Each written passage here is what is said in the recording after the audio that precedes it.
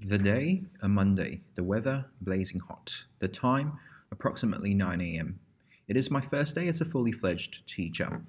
Having successfully completed my graduate diploma in secondary education, here I was about to embark on my very first real paid teaching job. Sure, I somehow managed to navigate the 15 weeks of practicum as well as the deluge of assignments as part of my teaching qualification. But this was different.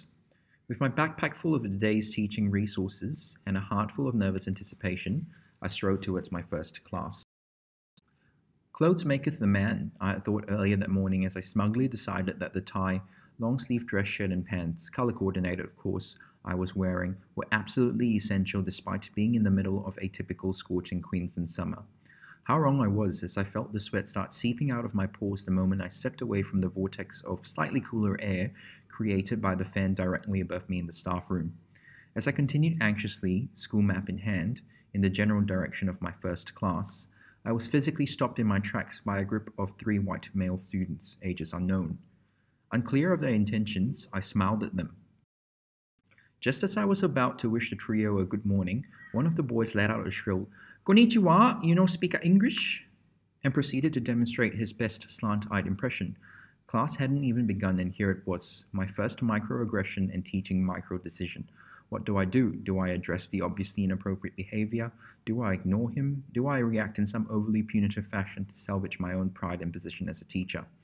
Was there truly a compromise between any of these extremes? I had mere milliseconds to decide before these students sniffed any sort of weakness, if I even so much as paused. Instead of jumping straight into what happens next, I pause my story here and ask you to reflect on what you would have done in this situation. For me, this incident was just one of my many run ins with the essentializing discursive narrative of Asian deficit, which continues to instantiate my position as an outsider within the teaching profession. What did I do at that point in time? I'll get to this in just a moment. For now, let's jump ahead to what I'm doing here today. Madison's taught definition of the critical is the basis upon which Marx, Pennington, and Chang, as well as Boylorn and Orbe, advocate for critical autoethnography's usefulness in legitimating first person accounts of discrimination and difference as a means of critiquing colonialism, racism, sexism, nationalism, regionalism, and ethnocentrism. Boylorn and Orbe further explain that critical autoethnography's commitment to political action inflects the following aspects of critical theory. To understand the lived aspects lived experiences of real people in context, to examine social conditions and uncover oppressive power arrangements, and to fuse theory and action to challenge processes of domination. How exactly does this work, though? I move here to critical race theory's main methodology, counter storytelling. As a form of narrative, it takes experience and configures it into a conventional and comprehensible form. This is what confers it with communicative power, making it a powerful tool of persuasion and disrupting the dominant narrative, and therefore a potential transformative device for the disempowered. As Delgado elaborates, counterstories can jar the com comfortable dominant complacency that is the principal anchor dragging down any incentive for reform. Beyond this, counterstories, a, me a mechanism for reclamation, can also be therapeutic for the teller and for listeners from marginalized communities, as the act of telling can lead to healing, liberation, and mental health. As it turns out, Cann and DeMeulenaere tell me that you might think of counter stories as critical autoethnographies. But how exactly? Holman Jones outlines what she considers one of critical autoethnography's central commitments that theory and story work together in collaborative engagement. This means that we use the vocabulary, the ideas, concepts, and languages of theory, and the mode of story, the forms, the relationships, and the worlds stories create, to tell complex, nuanced, multiple, and critically reflexive narratives. How then do I, an Asian migrant teacher, write a critically reflexive counter narrative in and through theory? Asian crit, of course. Asian crit, like critical race theory, also shares a commitment to intersectionality, social justice in praxis, and draws on narratives as the primary tool for social change.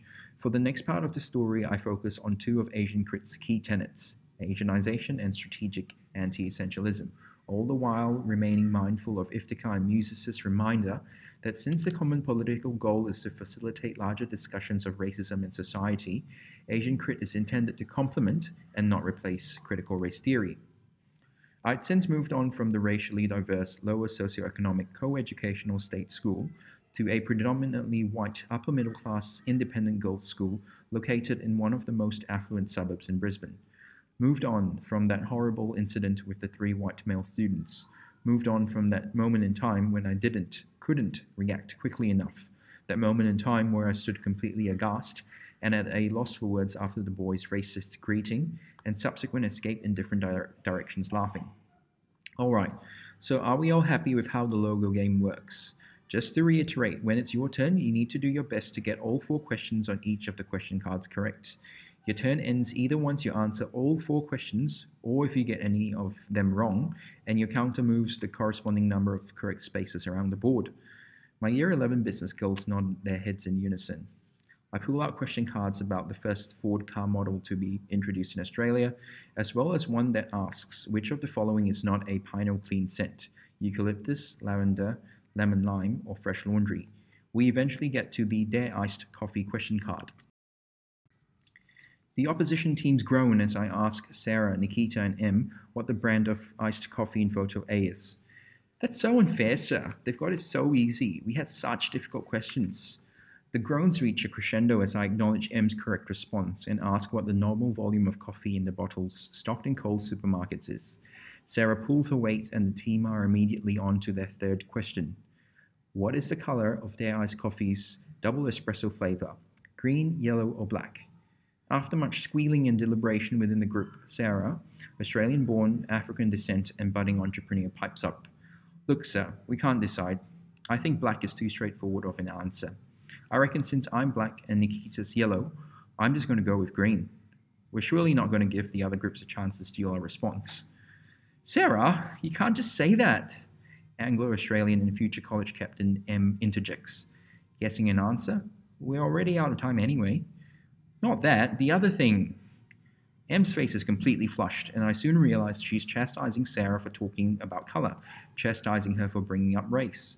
Having read up on colour blindness in schools the previous weekend, I was galvanized into reacting differently this time, into not being at a loss for words.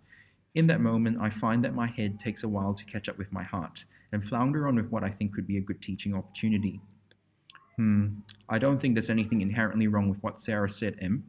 I mean, Sarah is obviously of African descent, and Nikita and I are both of Asian descent.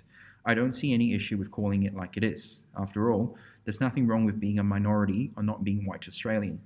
It does become an issue when we start lumping all minorities into indistinct monolithic groups, though, as in assuming that everyone in that group is exactly the same, and even worse, conferring certain negative stereotypes or assuming some degree of deficit or lack of everyone in that particular group on the basis of that sameness. That's just going to be downright damaging. For example, my wife constantly reminds me that I tend to be quite a reckless driver, so I suppose I fulfill the Asians are bad drivers stereotype to some extent. But compare that with what you told me about your road trip over the holidays, how Nikita was probably the smoothest and safest driver in the group. Now imagine how terrible it would be if all driving examiners immediately assumed Nikita was a bad driver before she even hopped behind the wheel. I mean, we could get into a whole other discussion about the assumption a lot of the girls here have about the English ability of our Japanese exchange students, but I think you kind of get my point. I can see the well oiled cogs in M's brain spinning and use that as an opportunity to take my reassertion a little further. So, yes, I think we need to be able to speak plainly about colour to be able to address inequity. If we link that back to the business context, what other ways are businesses going to be able to recognize deep seated disadvantage among certain communities and subsequently act on it as part of their corporate social responsibility? Anyway, that's my two pence worth at least. By this point, M's cheeks had turned from a scarlet red to a mellow pink. I could see that she was still pondering my little speech, possibly realizing in that very moment the color discomfort that stemmed from her whiteness. However, before either of us could say any more, we are abruptly interrupted by the lunch bell. As I mentioned earlier, I'm here today to share my story of recapturing racial narratives. In so doing, I would also like to take this opportunity to think and wonder out loud about what I believe deserves much more meaningful deliberation. That is, if in my vocation as a high school teacher, I truly am on the right track to jar the comfortable, dominant complacency perpetuated by the overwhelming presence of whiteness that pervades the Australian classroom. Am I doing the very best I can at this stage to fuse theory and action to challenge processes of domination while reclaiming what has previously been kept silent? Is this how, with the goal of tackling racism in mind, I best reassert our right to be heard? I wonder, what else would you do in my situation? Thank you again for engaging with my story today. I would love to receive any questions, comments, or feedback via email.